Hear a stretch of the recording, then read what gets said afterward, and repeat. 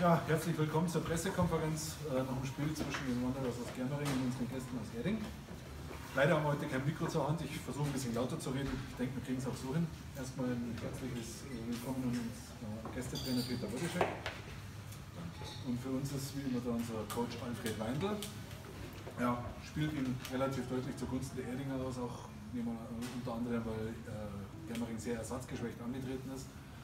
Das erste Wort gehört mal wie unseren Gästen. Peter, was sagst du? Also, schöne, schöne guten Abend. Ja, äh, ich muss sagen, wenn schaue ich, wenn schaue ich die Statistik, dann die erste Drittel, wir haben zwölf äh, Schüsse für uns, zehn Germering, also das war überhaupt nicht so einfach. Die zweite Drittel war schon zwölf äh, zu acht. Da haben wir schon ein bisschen, ein bisschen besser gespielt und dritte Drittel, ich glaube, dass Germering hat schon ein bisschen äh, mit vielen Ausfällen bisschen mit den Grafiken am Ende und ich schätze ein bisschen resigniert zum Schluss.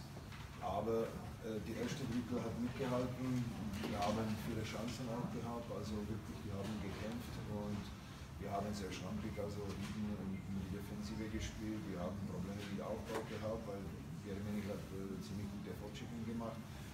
Im zweiten Drittel, da haben wir sich schon alles verbessert und da haben wir schon ein bisschen auch mit dem Aufbau schon ein bisschen gespielt und besser und äh, ja, der Anfang war auch wichtig, wo haben wir die äh, Doppelunterzahl haben wir überlebt, haben wir geschafft, das war sehr wichtig. Ja, und die dritte Mitte, habe ich schon gesagt, mit den vielen Ausfällen, mit dem engen Kader, da war schon die Änderung am Ende. Dankeschön. Danke, Peter. Ja, Alfred, welche Rolle haben die Ausfälle gespielt? Was sagst du zum Spiel? Ja, mein Gott, die, die Ausfälle, mal, äh, äh, hat es ja schon eigentlich alles richtig gesagt. Die Ausfälle können wir überhaupt nicht kompensieren. Ich meine, das sind ja alles äh, Stammspieler.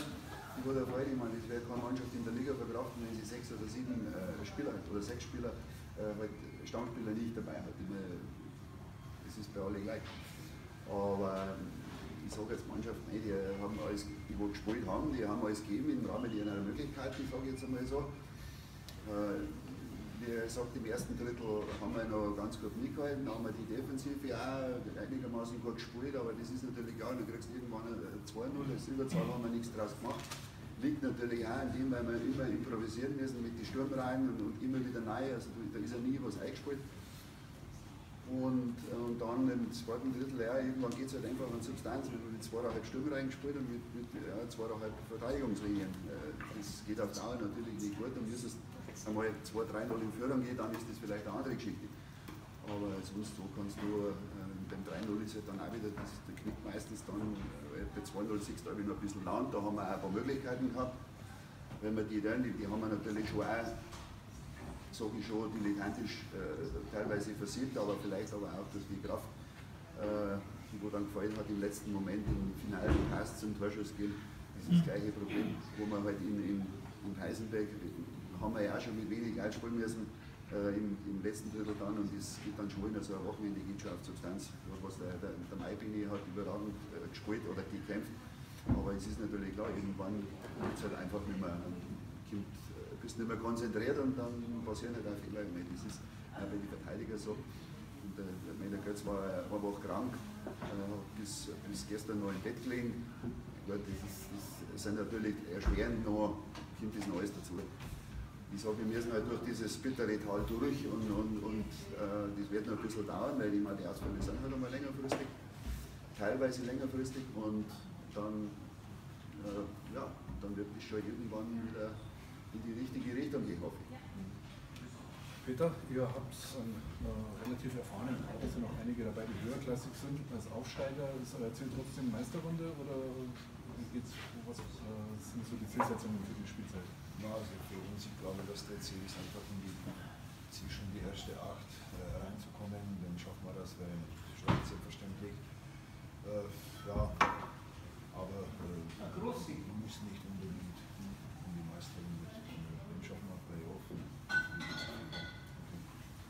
Du hast auch schon gerade angesprochen, teilweise sind die Ausfälle längerfristig. Wo ist Land in Sicht und auf wen du lange Zeit dann verzichten müssen? Gibt es da schon? Also jetzt mal, Vormann wird sicher zwei Wochen raus sein.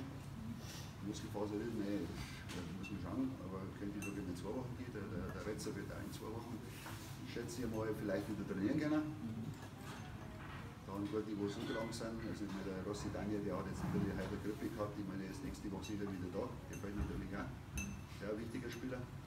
Und, und äh, Nico Rossi wird ja, schwer zu sagen, Knie, das muss man genau untersucht werden.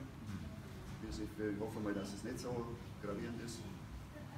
Dann haben wir, wird noch gefällt, der Birk Franz, ja, gut, der ist morgen wieder da, aber der hat wieder den enormen Trainingsrückstand, wo ich sage, muss man jetzt auch einmal aufwarten, wie es überhaupt ausschaut. Dosch, glaube ich, war Äh, da ist das Fingerbrachen, äh, kleine Finger, es gibt jetzt auch drauf, ob er operiert werden muss oder nicht, oder äh, wenn ja, lange das, mit kurz zwei Finger, das geht schnell einmal. Also kann man mit der Schiene dann schon nach seiner Hochzeit. Okay. Gut. Also sind das seit drei Wochen nur. Gibt es noch Fragen aus der Runde?